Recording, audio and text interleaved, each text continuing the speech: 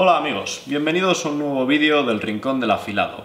Hoy os traigo un vídeo para hablaros sobre los diferentes tipos de hojas de cuchillos que podemos encontrar en cocina, sobre todo los más comunes, aquellos que valen un poco para todo. Vamos a hacer un repaso a los diferentes perfiles de hojas y a qué caracteriza cada una. Como veis, estos son dibujos míos hechos a mano, no es que sean una maravilla, pero es lo que hay. Pensaba pasároslos a ordenador, poneroslo bonito, pero bueno, no ha quedado mal del todo, así que vamos a aprovecharlo y lo hacemos ya de una. En primer lugar vamos a comenzar con los cuchillos alemanes. Son unos cuchillos generalmente de hoja ancha, con una punta muy alta y una curvatura en la panza muy marcada. Esto viene precisamente de que el lomo sea recto o prácticamente recto, con muy poca curvatura, y que la punta esté en una posición tan elevada. Por haceros una idea ya desde el principio del vídeo, más o menos lo que nos va a marcar todas las diferencias de las hojas, lo más característico es a qué altura se sitúe la punta en cada una de ellas. Ejemplo de cuchillo alemán, por ejemplo, el Gustav, el Classic Icon. Como vemos este no es que tenga un lomo totalmente, totalmente recto, sino que hace un poco de curva al final para ser un poco más versátil, no sería un alemán puro puro, pero sin embargo, si miramos el centro de la hoja, la punta queda por encima.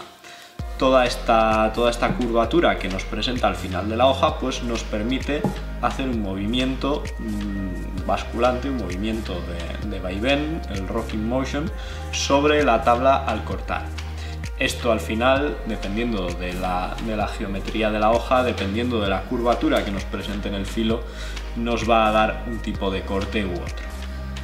Pasamos pues a los cuchillos franceses, que son un poco más versátiles y, en mi opinión, unos de los eh, más extendidos y con razón en la, cuchillería de cocina a lo largo de, de la historia, sobre todo a lo largo de, de las últimas décadas, incluso del último par de siglos fácilmente. ¿Por qué se caracteriza este cuchillo? Pues bueno, son hojas más estrechitas que los cuchillos alemanes y la punta está más o menos alineada con el centro de la hoja, lo que se llama una punta de lanza. Es decir, el lomo tiene una curva muy suave que converge en el medio de la hoja y por la parte del filo pasa exactamente lo mismo. ¿Ejemplos de cuchillos franceses? Pues no tengo ningún francés puro, pero probablemente el que más se le parece sea este Jaxel Mon, en el que la curvatura del filo y la curvatura del lomo convergen más o menos en una punta que queda quizá un poquito más alta, pero más o menos bastante cerca del centro de la hoja. Con lo cual es una hoja que en este sentido pues más o menos nos va a dar unas características de corte similares a lo que sería un francés puro nos metemos, pues, por ejemplo, con un sabatier. El, el. El guilloto es muy parecido al cuchillo francés, pero de la, partiendo de la tradición y de la estética japonesa. ¿En qué diferencia sobre todo a un cuchillo de, estilo francés de un guilloto? En que el guilloto mantiene la rectitud del lomo hasta prácticamente el último cuarto o el último quinto de la hoja, con lo cual hace una curvatura un poco más marcada al final, dando esa forma un poco más chata. En este dibujo quizá me haya quedado un poco exagerado, no es tan marcado, pero sí que es cierto que se nota esa, pequeña forma chata al final de, del lomo. Sin embargo, la curvatura del filo es muy parecida a la de un francés. Esto nos lo va a diferenciar sobre todo de un santoku. El santoku aparte de que la parte final es mucho más redondeada, la curva es mucho más marcada, tienen muy poca curvatura de filo. Ejemplos de gyuto. Bueno, pues tenemos este Moonlit Waves de Sakai Takayuki, en el que podemos ver que la curvatura del filo es bastante, bastante regular, tiene muy poca, tiene curvatura muy poco marcada, es muy suave a lo largo de todo el filo, pero en el lomo lo tenemos recto, recto, recto, recto y aquí ya empieza a girar y nos mete una curvatura un poco más chata que su contraparte del filo. Otro ejemplo de este, en el que se ve más claro, este Masakage Koishi. Tenemos aquí un filo con una curvatura que hace muy poca variación a lo largo de toda, de toda la extensión, no hay una parte en la que la curva de repente esté muy marcada, pero sin embargo en el lomo sí, tenemos un lomo muy plano y de repente una curvatura aquí que achata mucho este perfil de hoja. Otro ejemplo de gyuto, este ya un poco por darle un toque de, variedad y de humor a esto, es este que me fabriqué a partir de la hoja de un tres claveles. Me inspiré en el perfil de los gyutos para ponerle un mango japonés a esta hoja de tres claveles, la recorté con esta forma característica que respeta la suavidad de la curva del filo, pero que tiene esta forma un poco más chata, como digo, en el lomo. Tres ejemplos para intentar visualizar un poco esto. Voy a dejar este aquí para compararlo con los Santoku y vamos a pasar a la última parte de esta hoja. ¿Qué caracteriza un santoku? Pues dos cosas principalmente. La más llamativa es toda esta curva que tiene en la parte final del lomo, pero sin embargo eso no es lo que le da su característica especial a este cuchillo. Lo que le da su característica especial es que la curvatura que tiene el santoku es muy muy muy suave. La punta es todavía más baja que en un gyuto, con lo cual la curva del filo es menos marcada.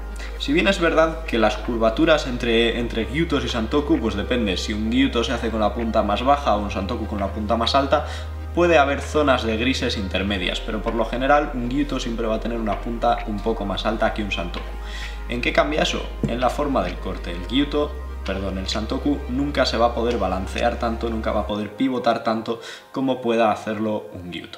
Como digo, habrá gyutos y santokus en los que esté cerca la cosa, pero por lo general por ahí van los tiros. El lomo se mantiene recto hasta una etapa, hasta un fragmento más tardío que, el gyuto, con lo cual la bajada es un poco más abrupta. Hay santokus de diferentes anchuras de pala, de diferentes anchuras de hoja. Hay algunos más estrechitos y algunos más anchos. En general tengo la impresión de que se ha visto que hojas un poquito más anchas son más versátiles y se ha tendido por ahí, pero realmente la anchura no es determinante, al menos que yo sepa, para eh, la forma o para la tradición de, fabricar un, un, santoku. Si comparamos santoku con gyuto, aquí lo tenemos. Hojas que no son excesivamente dispares en cuanto a anchura, quizá está un poco más, más estrecha, pero que aquí la curvatura empieza un poco antes a achatarse y aquí em, al empezar más tarde es mucho más marcada.